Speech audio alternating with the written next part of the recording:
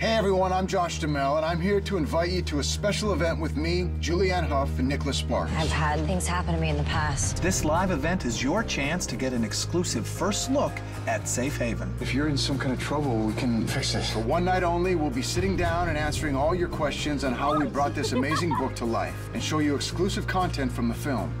A Night with Safe Haven, in theaters January 17th. Tickets on sale now at fathomevents.com